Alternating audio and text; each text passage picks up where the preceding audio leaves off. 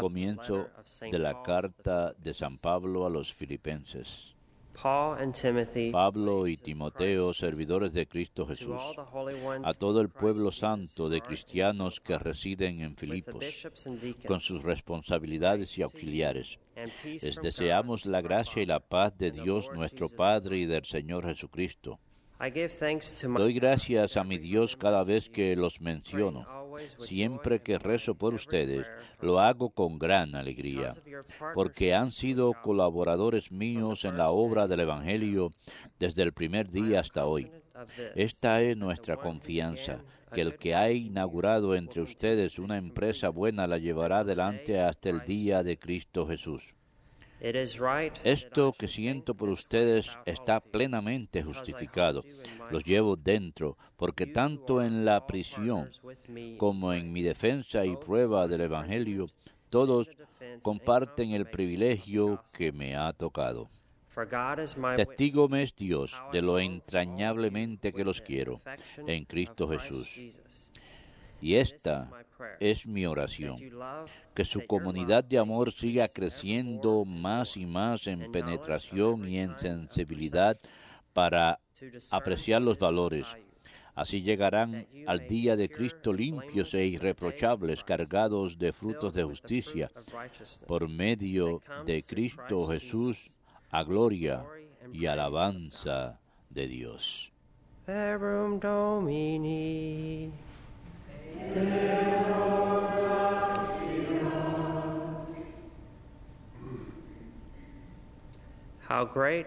Grandes son las obras del Señor. Grandes son las obras del Señor.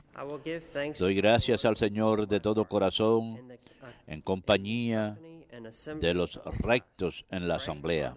Grandes son las obras del Señor, dignas de estudio para los que las aman. Grandes son las obras del Señor. Esplendor y belleza son su obra. Su generosidad dura por siempre. Ha hecho maravillas memorables. El Señor es piadoso y clemente. Grandes son las obras del Señor. Él da alimento a sus fieles, recordando siempre su alianza mostró a su pueblo la fuerza de sus obras, dándoles la heredad de los gentiles. Grandes son las obras del Señor.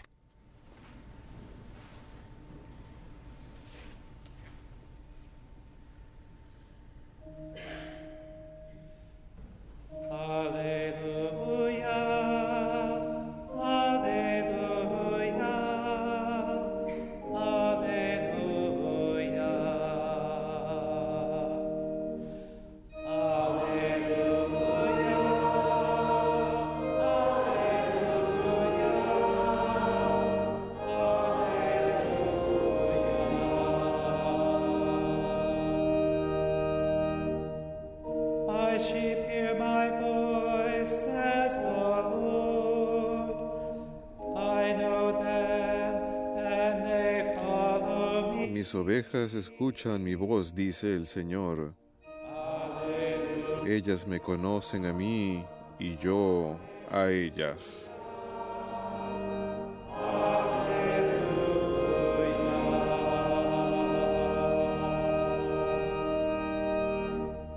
Dominus vobiscum. Lectio Sancti Evangelii secundum Lucam.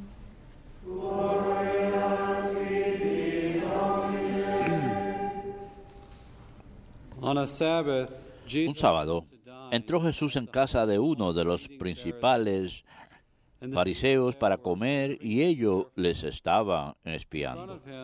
Jesús encontró delante un hombre enfermo de hidropesía y dirigiéndose a los letrados y fariseos preguntó, ¿es lícito curar los sábados o no?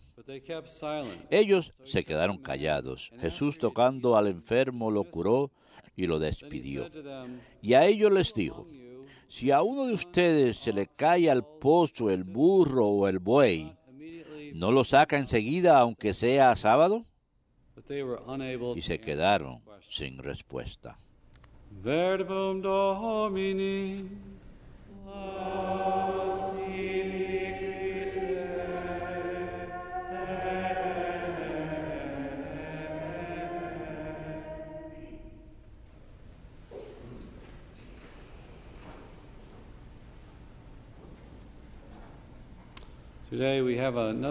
El día de hoy tenemos otra lectura sobre este conflicto que tiene Jesús con los fariseos acerca del descanso del sábado. En el Evangelio según San Lucas, en el capítulo 6, hay una pregunta, una disputa que tiene con los fariseos.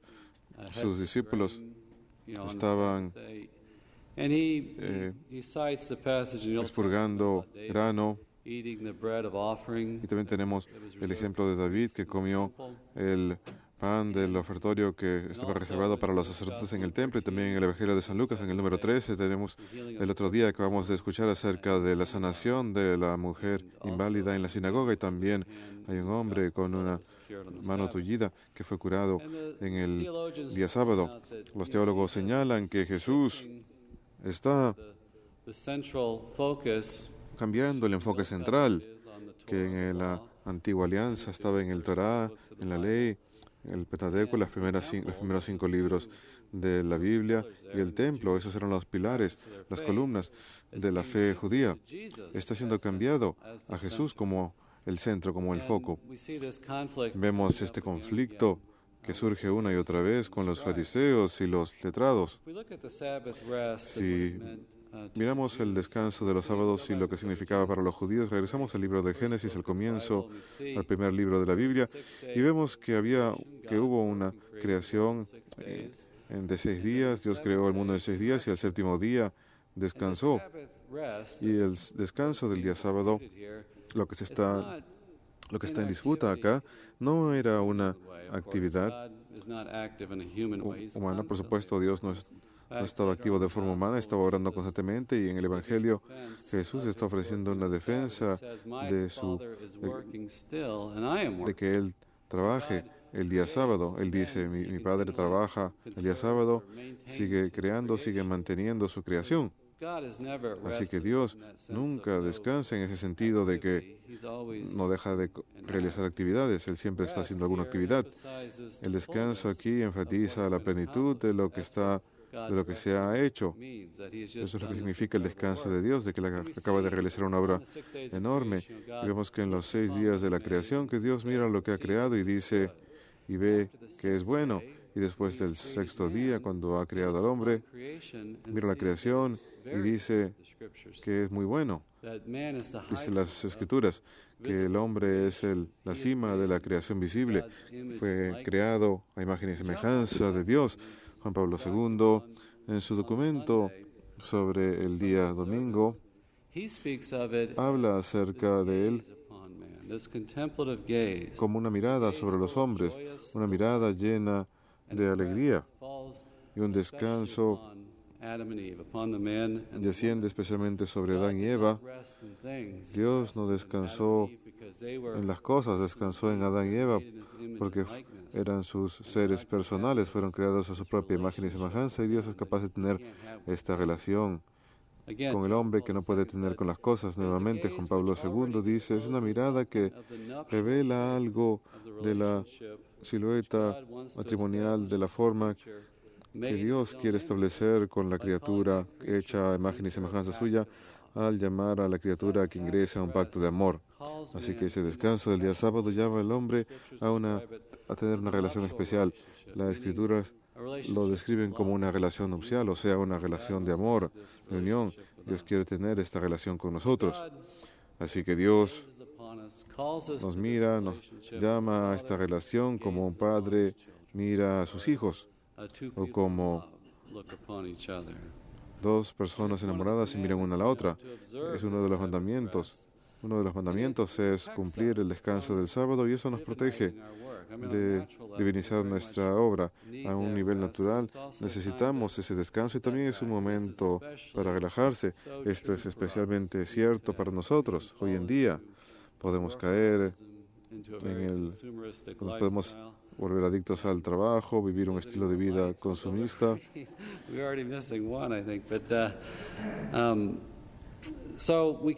Así que todos somos capaces de poner demasiado énfasis en nuestro trabajo, nos involucramos demasiado en este ritmo frenético de la vida y nos olvidamos de hacer un espacio para Dios en nuestras vidas. Esto nos recuerda que todo le pertenece a Dios. Hemos de ofrecerle todas nuestras labores. Ese es un aspecto muy bonito de la adoración. El día domingo venimos a la Eucaristía, tenemos el ofertorio en la misa, el sacerdote levanta la patena, eleva el cáliz antes de la consagración. Y ese es el momento donde podemos ofrecer todas nuestras labores del día de la, semana laboral, podemos ofrecer todas nuestras labores de caridad y ofrecérselas a Dios en unión con Jesús, en unión con el sacrificio de Jesús. Y vemos que Jesús cumple este mandamiento de descansar. Sabemos que los primeros cristianos movieron el, sábado, el día de descanso de sábado al domingo, del último día de la semana, el primero, porque Jesús resucitó un día domingo, completó la obra de la nueva creación, la obra de redimir y santificar al hombre, de transformarlo. Así que es cambiado el día domingo, el día que resucitó después de haber cumplido su tarea. Y ahora podemos descansar en el Señor de una manera nueva, porque podemos descansar, porque ya hemos sido redimidos, podemos descansar en Jesucristo. Celebramos ese día domingo, por supuesto, todas las semanas, esta gran obra de nuestra redención y esto anuncia, prefigura el último día cuando Cristo ha de regresar para la consumación, para la plenitud del reino, cuando ha de presentar a este mundo transformado, encendido por su gracia, ha de presentárselo a Dios Padre. Para los judíos, el cumplimiento del sábado es una expresión esencial de la vida y de su alianza con Dios. Algunos ven este pasaje y lo hacen de lado como algo simple, como Jesús, si Jesús fuese un reformista liberal que está tratando de reformar la ley. ¿Y qué sucede cuando pensamos así? Hacemos de lado otros mandamientos y llegamos demasiado lejos. Por supuesto que le pide, por supuesto que los fariseos eran excesivos en su observación de la ley y se, olvidaban se olvidaron de la esencia de la ley, pero lo esencial, como lo indica el cardenal Ratzinger, en, la, que entonces era cardenal. El verdadero asunto tiene que ver con quién era Jesús. Ese era el problema que tenían los fariseos con Jesús. Los judíos solían mirar este cumplimiento del sábado como una forma de imitar a Dios. Dios descansó después de la creación y el hombre imita eso como un colaborador, comparte la obra creadora de Dios. Así que al observar cumplir el descanso también está imitando a Dios. Eso es parte del orden social para los judíos, en especial cuando decimos que los fariseos estaban resistiendo a la influencia romana, la ocupación romana, tratando de aferrarse a su cultura judía lo más posible. Así que enfatizaban este aspecto. Era algo que todos todo el pueblo podía ser junto. Como mencioné, Jesús cumple, Jesús cumplía el descanso del sábado, Él es el cumplimiento de cómo obra Dios, Él imita a Dios al grado máximo. El tema es que Jesús estaba reclamando para sí autoridad, su autoridad como hijo. Él estaba tomando el lugar del Torah como palabra de Dios en persona. San Juan describe a Jesús como la palabra y nos dice claramente en el Sermón de la Montaña que ha venido no a abolir la ley, no a ser un reformista liberal, sino a cumplir la ley. Él es el único que puede mantener, cumplirla perfectamente. Los judíos sabían esto muy bien, que de manera corporal ellos no, tenían, no eran capaces de cumplir la ley. Todos, todos los años tenían que tener la celebración del Yom Kippur, la fiesta de penitencia por no haber podido cumplir la ley. Y era únicamente el creador de la ley, era el único capaz de cumplirla por completo. Así que el conflicto es que no es que Jesús no estuviese actuando como otro rabino ofreciendo su interpretación. Como escuchamos en las Escrituras, él enseñaba de manera distinta, él enseñaba como uno que tenía autoridad. Y él hacía de lado ciertas tradiciones de los fariseos, como nos cuentan las Escrituras. Él les decía que eran excesivos en su cumplimiento de la ley, que se, habían olvidado de la misericordia de la compasión al cumplir la ley. Él había venido, Jesús había venido con la autoridad de Dios Padre y los fariseos estaban rechazando a su persona. Únicamente Dios puede interpretar la ley fundamentalmente y concederle la aplicación universal, que es lo que Jesús hace en el Sermón de la Montaña. Fue ofrecido en el Sinaí y Jesús ofrece su interpretación plena sobre las bienaventuranzas. Él es quien nos enseña con autoridad, no como los demás. Así que venimos y alabamos, adoramos a Jesús y tenemos esta plenitud de la enseñanza, la plenitud de la verdad. En Él se halla nuestro descanso y especialmente hoy en día. Tenemos una tendencia a divinizar al hombre, a divinizar nuestra propia labor. Tenemos que encontrar a Cristo, especialmente en la observación del domingo, para poder descansar en Él y encontrar nuestra plenitud en Él.